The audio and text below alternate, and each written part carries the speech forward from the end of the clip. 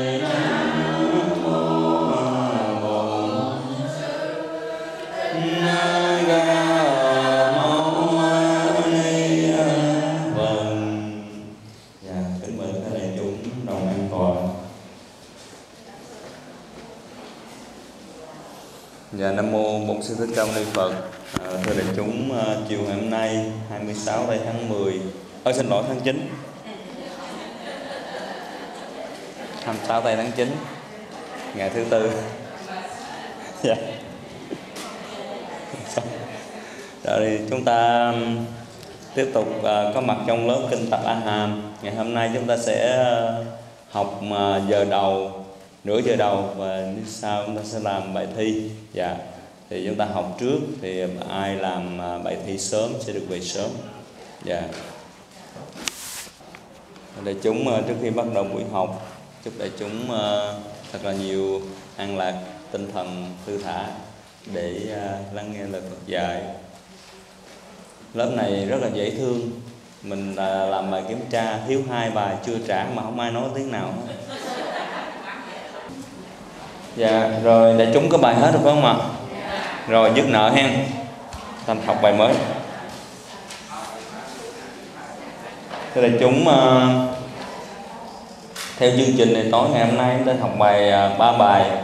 Đó là bài ờ, 1288 và 1290 và 1291 nhưng mà chúng ta sẽ rút lại học hai bài thôi.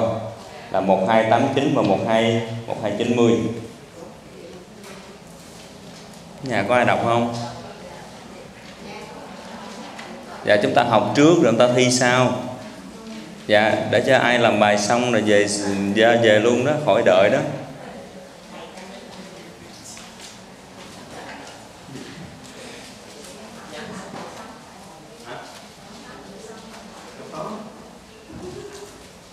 Mấy cô sợ không đủ thời gian á hả? Sao, thầy đúng canh, đúng sao, còn 60 phút thầy canh thầy cho làm bài. Dạ quý vị mở ờ, bài kinh số 1289 Nói giỡn thôi chứ học nhanh nhanh đi rồi làm bài. Cầm lên, cầm xuống, hoài. À. Rồi bài kinh 1289 trang 2202 Bài kinh này có cái tựa đề là Chiến đấu hoạt Dạ mời uh, quý vị nào phát tâm đọc đi. Cảm ơn cảm. Dạ mời cô Diệu uh, Thiện.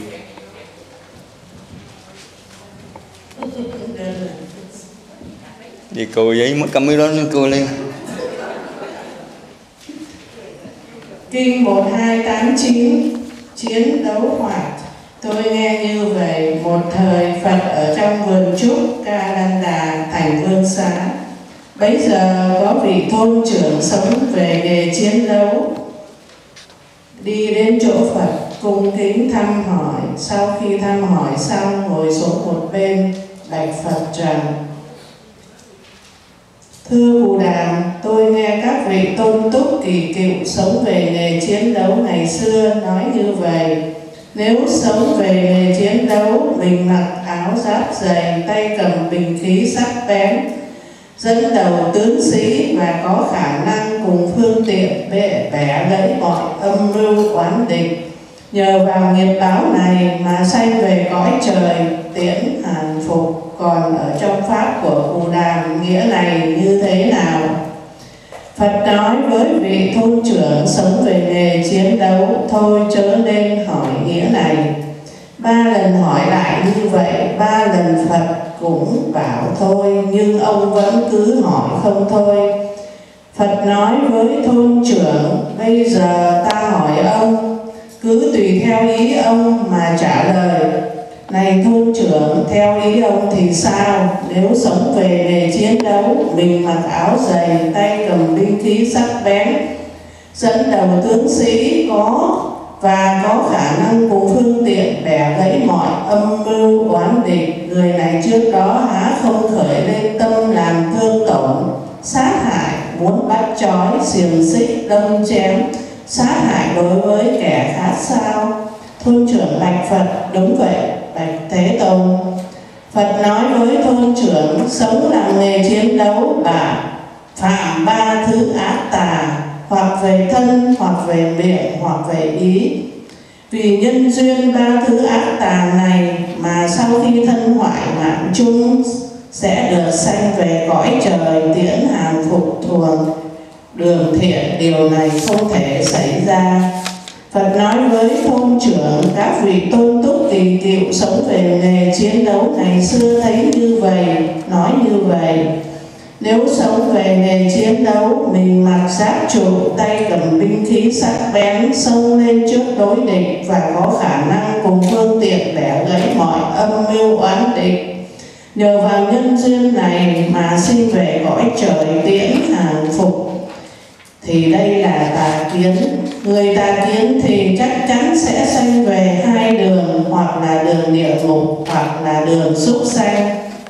Lúc nghe nói những lời này, thôn trưởng này buồn thương rơi lệ. Phật nói với thôn trưởng, vì nghĩa này nên trước đây, ba lần ta nói với thôn trưởng thôi đi, mà ông nói cho, mà không nói cho ông nghe. Thôn trưởng bạch phật tôi vì, tôi không vì những lời nói của cù đàm mà thương khóc rơi lệ, mà mình tự nghĩ các vị tôn túc kỳ cựu sống về nghề chiến đấu ngày xưa ngu si, bất thiện, không minh bạch, sống lâu dài trong sự lừa dối, nói rằng nếu sống về nghề chiến đấu, mình mặc áo trụ, tay cầm binh khí sắc bén xông lên trước đối địch cho đến được sanh về cõi trời tiễn hàng phục. Cho nên tôi thương khóc rơi lệ, bây giờ tôi lại nghĩ rằng các vị sống về nghề chiến đấu và do nhân duyên ác nghiệp mà sau khi thân hoại mạng chung sẽ được sanh về cõi trời tiến hàng phục, điều đó không thể xảy ra được. Thưa Cụ Đàm, từ nay tôi xin từ bỏ các nghiệp ác, xin nương về Phật, nương về Pháp, nương về Tăng Tỳ Kheo. Phật nói với thôn trưởng, đây là điều chân thật. Thôn trưởng sống về nghề chiến đấu sau khi nghe những gì Phật dạy hoan hỷ, tùy hỷ, liền từ chỗ ngồi đứng dậy làm lễ rồi đôi Dạ, a Phật. Cảm ơn cô sao micro nó lớn dữ vậy? Đâu mà dạ. Quý vị về nhà chắc chắn là không có đọc bài này rồi phải không ạ? Tại nó không có nằm trong cái thời khóa biểu. À, quý vị có đọc bài kinh trước không? Bài kinh 1288 á. Có ai đọc chưa tay anh thử coi. Không ai đọc hết trơn. Hả? Đâu có có có cho bài có cho lịch mà. Trước khi mình thi mình học ba bài mà ờ mắc học thi cho nên muốn đọc rồi. Ok lý do chính đáng. Hay quá. Bác này nói thi gì viết lại cho coi giờ cho thầy đọc. Sao bác thật thao quá vậy? Dễ thương ghê. Rồi chúng uh, tại vì uh, mình thi mà mình làm nhiều thời gian quá đó cho nên ờ, mình phải học trước hai ba bài để mình giới hạn thời gian lại dạ. thì ngày hôm nay chúng ta học hai bài thôi học nhanh lắm học chừng nửa tiếng hồ à. Bài này à, nằm trong cái phần tương ưng với tụ lạc chủ có nghĩa là liên hệ đến các vị tụ lạc chủ. Thì ngày xưa khi đức phật đi thuyết pháp á, thì ấn độ còn nhiều cái bộ tộc nhỏ. Thì khi đức phật thuyết pháp thì có những cái à, người à, những trong cái tụ lạc này đó. Thì những người đó người ta à, cũng sống theo cái à, cái văn hóa xưa của Ấn Độ. Thì một hôm thì à, trong lúc Đức Phật ở thành Vương Xá đó thì có một cái à, một cái người à, chủ tụ lạc. Người này sống bằng cái nghề gọi là chiến đấu. Dạ không biết cái nghề chiến đấu là nghề gì nhưng mà trong này cái giải thích là tức là những chiến sĩ tức là những là những cái người mà chiêu mộ binh sĩ. Dạ thì à, cái ông này ông đến hỏi thăm với đức phật. Thì ông nói rằng là trong cái những người mà à, à, tôn túc cái người trước tiên của ông á, là nói rằng là những cái người mà làm cái nghề này á, thì sau khi chết á, thì được tái sanh một cõi trời cõi trời đó, trên là cõi trời tiễn tiễn gì? Tiễn hàng phục. Dạ cõi trời đó tên là tiễn hàng phục, mình không biết cõi trời nó nằm ở đâu, nhưng mà chắc có có tiễn có nghĩa là liên quan tới cái cái tên chắc là có nghĩa là cõi Atula thì chắc hơn dạ. chỉ có cõi Atula nó mới có cái mà chiến đấu là với mấy cõi trời như người ta an lạc dạ thì uh, tới hỏi Đức Phật á, có phải là những cái người làm cái nghề đó thì khi mất sẽ tái sanh vào cái nghề đó hay không thì ông hỏi ba lần như vậy thì Đức Phật biết rằng câu hỏi này tào lao cho Đức Phật không trả lời dạ. Đức Phật biết rằng người này bị ờ, tà kiến á, cho nên Đức Phật nói thôi đừng hỏi về vấn đề này nữa. Nhưng mà sau ba lần à, thì Đức Phật mới trả lời với ổng là chắc chắn rằng là không được. Dạ vì sao không được? Vì Đức Phật giải thích rằng là khi làm cái nghề này là đã thân đã ba nghiệp thân khẩu ý đã phạm điều ác không phải là việc lành. Mà chúng ta làm điều ác thì khi cái quả báo tái sanh thì chắc chắn không sanh vào cái cõi cõi lành được yeah. Dạ. thì à, Đức Phật trả lời như vậy và Đức Phật uh, xác định đó là là tà kiến thì uh, sau đó thì uh, cái ông này ông mới cảm thấy rơi lệ cảm thấy khóc cho những người trước đây đã làm cái nghề đó và tin tưởng rằng sau khi mất sẽ được tái sanh vào cõi trời nào đó mà chuyên môn sống với cái uh, mũi tên trong là, là hàng phục thì à, cuối cùng à, ông nghe Đức Phật giải thích và dạy xong thì ông phát tâm quy tâm bảo tức là Phật pháp tăng. Đó là thầy thể thầy kể tóm tắt của bài kinh mà chúng ta mới vừa đọc mới vừa nghe đọc đó. Dạ. Yeah. thì uh, cái bài kinh này tại sao mà mình đưa ra uh, đây để mà mình học? Nó mang một cái ý nghĩa thực tế. Dạ. Nhiều người trong chúng ta vẫn còn một cái khái niệm rằng là à, khi chúng ta à, còn sống chúng ta làm những cái việc gì đó thì chúng ta tái sanh vào một cái cái cõi nào đó tương ưng. Và chẳng hạn như à, mình cúng tế thì mình nghĩ rằng là mình chết mình sẽ sanh vào những cái nơi nào đó nó tốt hơn nhưng mà thưa không phải. Dạ à, chúng ta tái sanh được là là dựa vào cái gì thưa đại chúng? Nghiệp dựa vào những cái nghiệp mà mình tác sanh mình tác tạo tác ở ở kiếp này và nó sẽ liên quan đến cái kiếp mà mình tái sanh chứ không phải là nhưng mà ngay từ thời xưa đó trong dòng bà la môn á người ta có nghĩ rằng bà la môn chết đi rồi sẽ tái sanh trở lại vẫn là bà la môn. Và và đó là đức phật gọi là là tà kiến. Dạ quý vị mới vừa đọc xong bài kinh này đó. Và tóm tắt là nội dung của bài kinh này là với câu hỏi của cái ông à, thôn trưởng này chuyên môn làm về cái nghề mà à, à, chiến đấu. Dạ. Mà ngày hôm nay ờ, chắc chúng ta không còn những cái nghề này nữa nhưng mà những cái nghề có thể liên quan là người ta làm trong phục vụ trong à, lính hay là này này kia nó vẫn còn. Dạ. Dạ. Thì có ai mà nghĩ rằng là mình à, cái đạo khác á, họ vẫn có một cái suy nghĩ nha đạo hồi đó. Ta suy nghĩ rằng người ta chết người ta chiến đấu càng nhiều thì người ta dễ gần cái bậc thánh bậc a la gì của họ. Sao cô?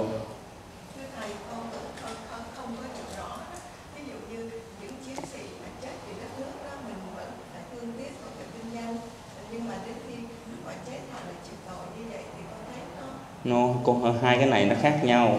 Cái ý nó nó khác vào cái bài, khác vào cái bài kinh này.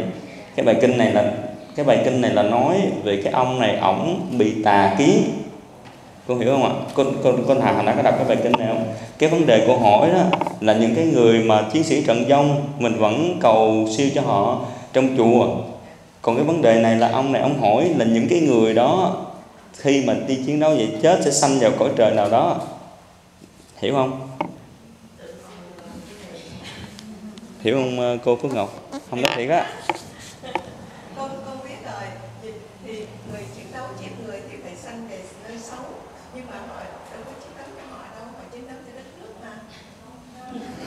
Hai cái nghĩa nó khác nhau.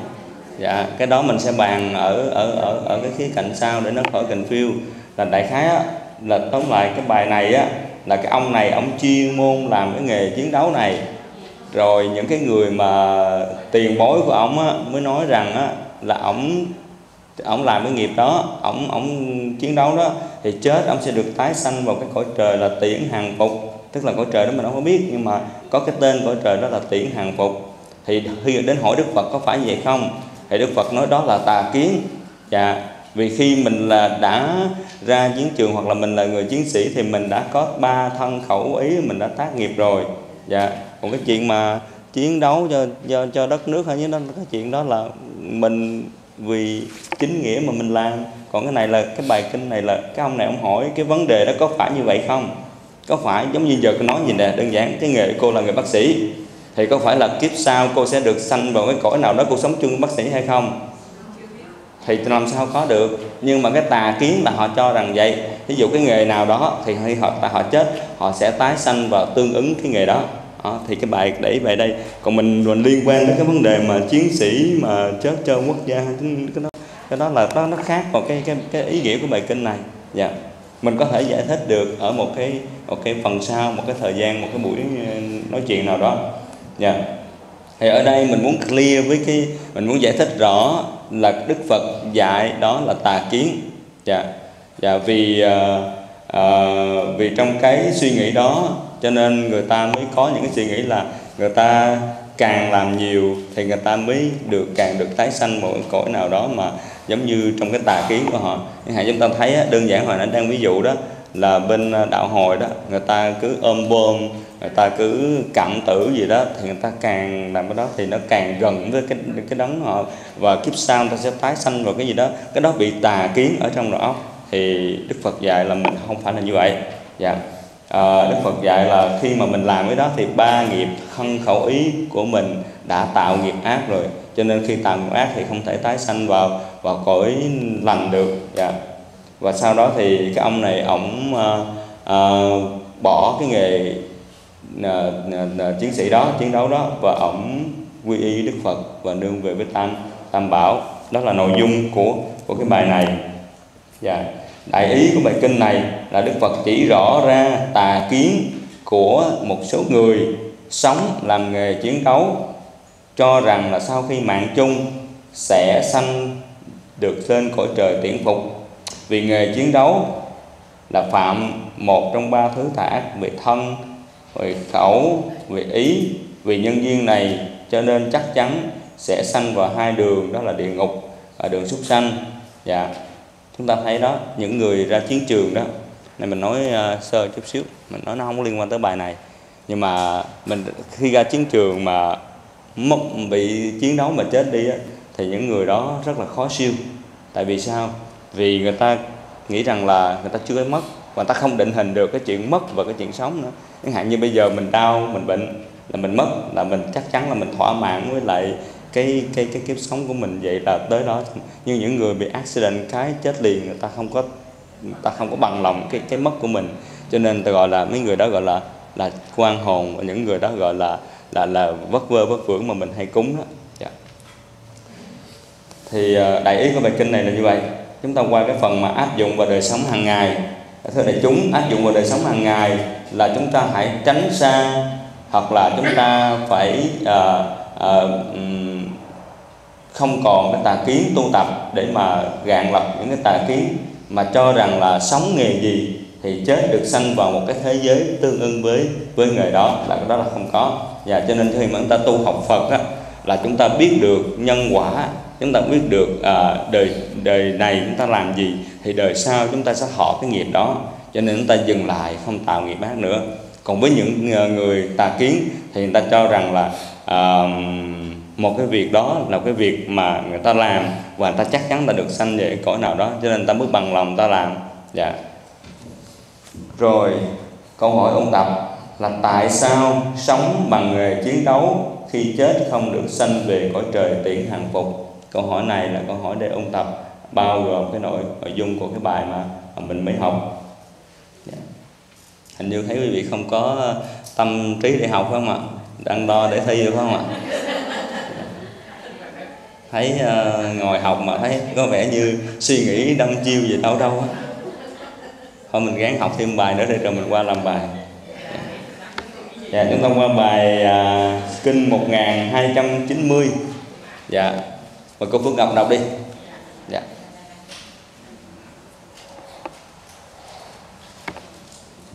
Trang 2 hàng 204 Kinh 1290 Điều Mã.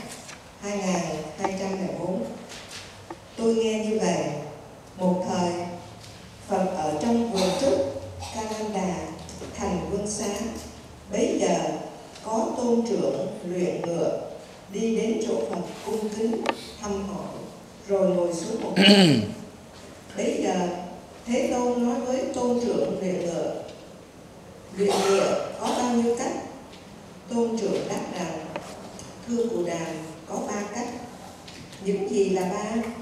Một là mềm mỏng, Hai là cứng rắn, Ba là vừa mềm mỏng, vừa cứng rắn Phật nói với tôn trưởng, Nếu dùng ba cách này Mà vẫn không điều khiển được ngựa nữa, Phải làm sao?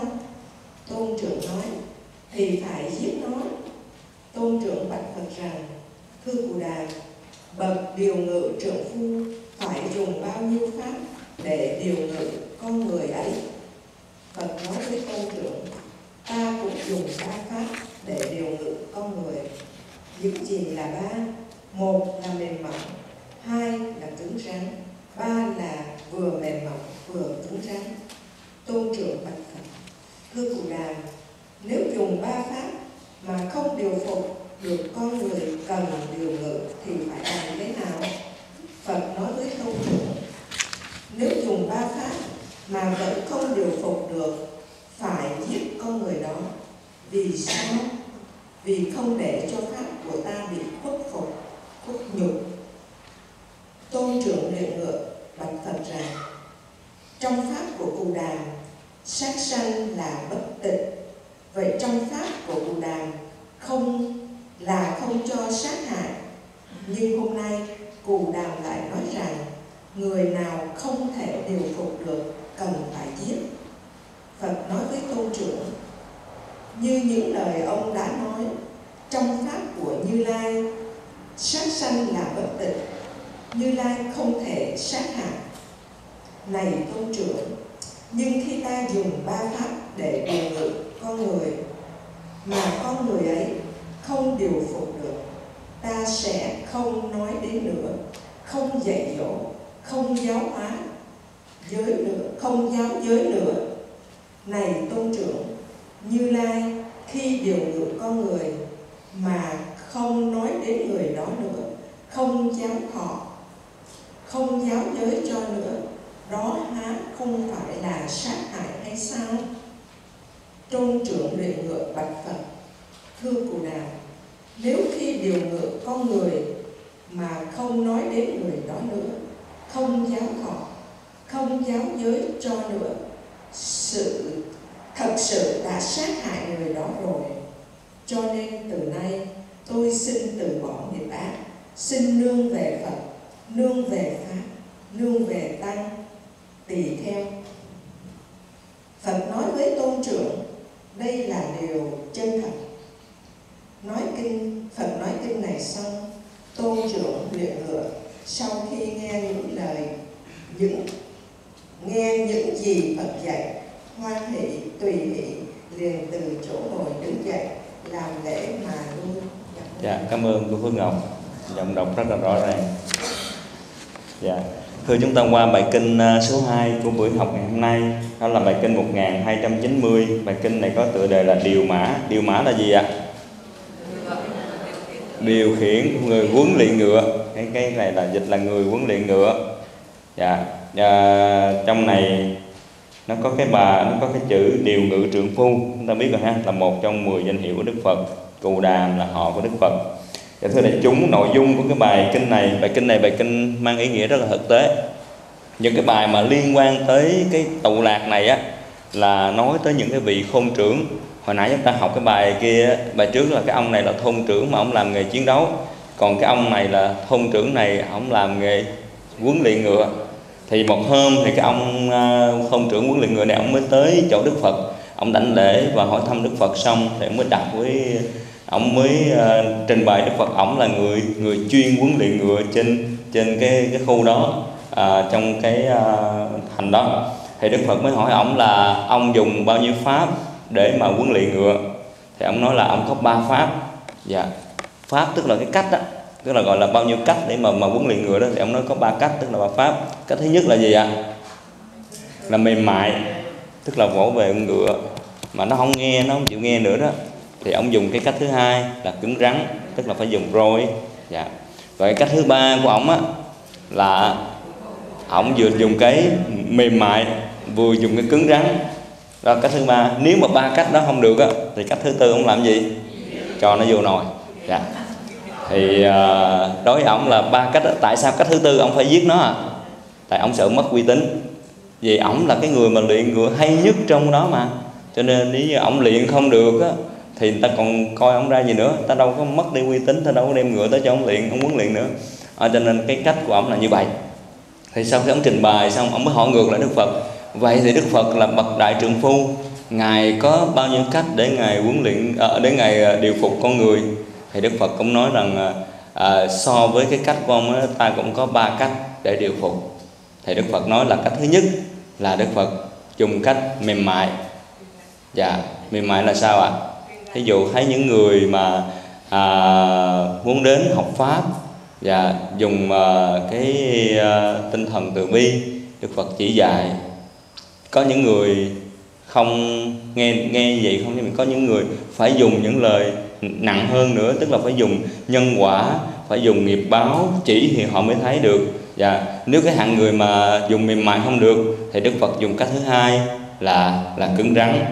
Và cái thứ hai cứng rắn không được, thì đức phật lại dùng cái cái thứ ba là vừa mềm mại, vừa cứng rắn. Bài kinh này thực tế lắm và kinh này rất là hay trong đời sống hàng ngày. Nếu chúng ta biết áp dụng bằng cái ý nghĩa của bài kinh này trong đời sống của mình là mình làm nhiều việc thành công lắm nhất là công việc dạy con. Dạ, nếu chúng ta chúng ta không biết lúc nào chúng ta cũng cứng rắn nó kiểu như văn hóa của Á Đông mình là cha mẹ nói con cái phải nghe à, dùng đòn roi mình thì trong Việt Nam mình có thương cho roi cho bọt phải không ạ? Không Đức Phật nói không phải vậy không, không phải lúc nào cũng thương cho roi cho bọt đâu. Có khi cũng phải mềm mại có khi có dùng cả hai mềm mại và và cứng rắn. Thì ông này mới hỏi nếu mà ba cách đó mà Đức Phật không có điều phục được người thì Đức Phật phải làm cách nào? Thì Đức Phật trả lời cũng giống như giống giống như cái người mà mãi ngựa vậy à, điều phục ngựa vậy thì Đức Phật phải từ bỏ người đó. Mình không dùng lại cái từ đó trong kinh nghe nó nặng nề quá. Dạ. Thì Đức Phật nói theo cái ý nghĩa trong kinh đó là không nói tới có nghĩa là là diệt rồi là có người bỏ đi rồi đó. Dạ cho nên nếu mà Đức Phật dùng cả hai, cả ba cái phương pháp đó mà không được, thì Đức Phật quan sát được người này nhân duyên rất là ít với Phật pháp. Và cái chất vô minh, chất phàm phu nó nó nó quá nặng. Nếu mà Đức Phật càng nói pháp nhiều, thì cái sự mà sanh lòng phỉ bán của họ nhiều cho nên Đức Phật không có nói. Thì Đức Phật trong này, trong kinh Đức Phật nói là không giáo thọ, không giáo giới gì nữa và thời kỳ Đức Phật, quý vị biết là không phải ai cũng quy phục Đức Phật. Có những ngoại đạo rất là tà kiến, rất là cao và rất là nặng nề và cũng có nhiều người cũng rất là khó quy phục. Chẳng hạn như khi Đức Phật quy phục ngài Xá Lợi Phất, ngài Một Kiền Liên là những vị đó là đầy đủ trí tuệ. Quý vị đã đã học nhiều kinh của Bà La Môn nhưng mà thấy vẫn chưa đủ. Cho nên khi đến với Đức Phật Đức Phật chỉ cần nói một bài pháp thì người ta sẽ nhận, dễ dàng nhận ra. Còn Đức Phật độ ba anh em Ca Diếp thì sao ạ? Ba anh em Ca Diếp lúc đó ở U Lầu Tầng Lo Uluvala thì ba anh em Ca Diếp thời đó là có tới một ngàn đệ tử. Và một ngàn đệ tử đó coi như là dạ, giờ bao trùm cả một cái vùng đó. Và khi Đức Phật đi về cái vùng đó thì uh, người ta đâu có thích Đức Phật. Ban đầu là không thích. Thì uh, hồi đó ừ, ba anh em ngài Ca Diếp thì thờ lửa dạ, và khi Đức Phật đến đó thì muốn độ họ thì họ không có chấp nhận. Cho nên uh, uh, trong một cái thất họ Đức Phật nghĩ là nó có một cái con rắn độc trong đó. Và buổi tối họ muốn Đức Phật đi vào trong đó để họ muốn con rắn độc đó sẽ hại Đức Phật. Nhưng mà với cái tâm từ bi của đức phật hóa giải được à, à, con rắn đó và buổi sáng ra người ta à, người ta ngạc nhiên khi thấy đức phật vẫn bình thường và sau cùng là ba anh em ngài cả diếp đều quy y hết. Có nghĩa là có những cái người không phải là hoàn toàn quy phục thì đức phật lại dùng những cái lời cứng rắn hoặc là có những người mà à, đủ duyên thuận duyên thì đức phật nói bằng bằng cái pháp từ bi mềm mềm mỏng. Vì đức phật bởi vì có liên lạc liên hệ chúng ta biết là ba cái đức tính gì mà đó là bi trí và dũng. Nếu mà gặp cái cái dạng mà dễ dàng thì đức phật nói lời từ bi mềm mại. Nếu gặp cái hàng người mà khó độ thì đức phật phải dũng phải cứng rắn. Còn có những người mà à, cả hai cái đó không được thì đức phật phải dùng trí tuệ.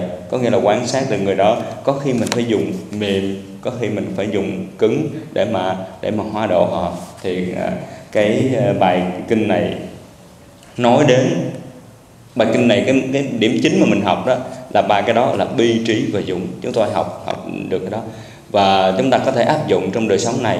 Chúng ta có thể uh, uh, muốn uh, khi mà muốn uh, rủ một người bạn nào đi chùa hoặc là muốn khuyến khích một người đi chùa chúng ta cũng cần phải áp dụng ba cái ba cái này. Và ba cái thứ này. Khi thì mềm mại có có những người mà người ta uh, nghe người ta đủ duyên ta hiểu được thì những cái lời mềm mại đủ rồi. Còn có những người mình nói tới rủ đi chùa là không đi. Và và họ sẽ ờ, kiếm lý do này thì mình mới nói đến nhân nhân quả và mình nói cái nghiệp ác. Mình tạo ví thí dụ giờ người ta rủ mình đi chơi về chỗ khác, mình không đi chùa đi, thì mình nói cái chỗ đó không mang lại an lạc. Và những cái đó tạo, có nghĩa là mình dùng với nhân quả để mà mình giải thích với với người ta. Tuy nhiên thì cũng tùy người nha, chứ không phải ai mình cũng a tầm phù mình nói vậy. Dạ. Dạ thì đại ý của bài kinh này, đức phật nói rằng là đại ý đại ý về kinh này nói rằng đức thế tôn là bậc thầy giác ngộ, bậc điều ngự trượng phu, đầy đủ bi trí dũng để điều phục chúng sanh bằng ba pháp. Một là mềm mỏng, hai là cứng rắn, ba là vừa mềm mỏng và vừa cứng rắn. Có những lúc cần từ bi thì dùng pháp mềm mỏng, có khi cần phải dũng thì cứng rắn. Rồi đến lúc đối diện, cả mềm mỏng và cứng rắn thế tôn dùng trí để để điều phục. Nếu dùng ba phương pháp này vẫn không điều phục được phật sẽ không nói đến họ không dạy và không nhắc đến nữa. Dạ đó là cái cách mà đức thế tôn đã đã đã dùng trong cái thời mà đức thế tôn đi thuyết pháp à, để hóa độ à, chúng sanh trong 40, 45 năm hoàng pháp. Dạ rồi chúng ta qua cái phần áp dụng áp dụng ý nghĩa bài kinh này trong đời sống hàng ngày. Và chúng ta học theo cái tinh thần bi trí và dũng chúng ta biết khi nào phải cần bi, khi nào chúng ta phải cần trí và khi nào chúng ta cần dũng. Trước khi chúng ta muốn thu phục người đó, chúng ta phải đòi hỏi, chúng ta phải hiểu được người đó. Cũng giống như mình vậy, mình muốn dạy con mình thì mình phải hiểu nó. Mình chưa hiểu nó thì mình mình dạy rất là khó. Và nhiều khi mình không am hiểu được cái văn hóa của phương tây mà mình cứ áp đặt cái văn hóa phương đông của mình thì cái vấn đề nó không thành công là chuyện rất là dễ dàng dạ. Và bởi vì biết là cái phương pháp thứ ba đó mà được Phật dạy đó là có khi cần phải mềm có khi cần phải cứng. Cái đó rất là quan trọng. Và mình biết được lúc nào mình cần phải nhỏ nhẹ. Ví dụ như cái lúc mà nó bực mình nó lên thì mình không thể nào mà mình cũng mình cứng rắn với nó. Có thể là nó tác dụng không tốt và nó tác dụng ngược trở lại. Dạ. Rồi có khi mà à, cơn nguôi ngoai đã xuống rồi thì chúng ta lại đem lời nhỏ nhẹ ra. Chứ nguôi ngoai xuống rồi mà chúng ta lại dùng cái lời đánh thép nữa thì nó lại phản phản tác dụng. Cho nên cái bài này rất là hay. Dạ cái bài lý do làm sao thầy chọn bài nào để dạy để chia sẻ để dạy trong những buổi học đều có ý nghĩa hết. Dạ. Thì mỗi một cái uh, chương một cái phần mà tương ứng đó, thì mình sẽ học một vài bài. Một vài bài đó nó có thể là um, ý nghĩa giống như uh, trọn vẹn một cái loạt bài tương ứng lại uh, những cái tụ lạc chủ. Dạ. Rồi câu hỏi ôn tập là đức phật dùng bao nhiêu pháp để điều điều ngự con người, điều phục con người hoặc điều ngự cũng được. Ai mà dễ thương quá vậy? Dạ. Rồi như vậy thì cái bài, cái câu hỏi ôn tập là chúng ta có ba pháp, Đức Phật có ba pháp để điều phục ha. Chúng ta nhớ ha, chúng ta về tối nay nhớ là bi trí và dũng. Đức Phật dùng cái đó. Thì mình cũng khi đối diện với cuộc đời, mình phải cần có ba cái đó. Ngay cả trong lúc mà mình đi làm cũng vậy mình có bi trí dũng thì cái chuyện mà va chạm với đồng nghiệp, cái chuyện đó nó sẽ ít xảy ra hơn. Và chúng ta có thể thành công hơn. Chúng ta cũng muốn một người nào đi đến đạo, chúng ta cũng dùng bi trí dũng, ngay cả đi chùa hàng tuần, hàng tháng, hàng ngày. Chúng ta cũng nên có cái tinh thần bi trí dũng. Dạ có những người chúng ta không thể nào mà mà mà mà mà mà bi hoài được. Có những lúc chúng ta phải cứng rắn, nhưng mà không phải lúc nào cũng cứng. Lúc nào cũng cứng rắn có nghĩa là nó quá mệt mỏi làm cho người ta khó chịu. Dạ. Cho nên đôi khi cần phải mềm mỏng đôi khi cần phải cứng rắn ha. A di đà phật được không? Rồi chúng ta học hai bài thôi. Học thêm bài nữa nha. Dạ thôi chúng ta ra, dừng lại đây. Ngày hôm nay chúng ta học hai bài này. Và chúng ta sẽ nghỉ 5 phút sau đó chúng ta sẽ làm bài và kiểm tra. Dạ. Cảm ơn quý vị.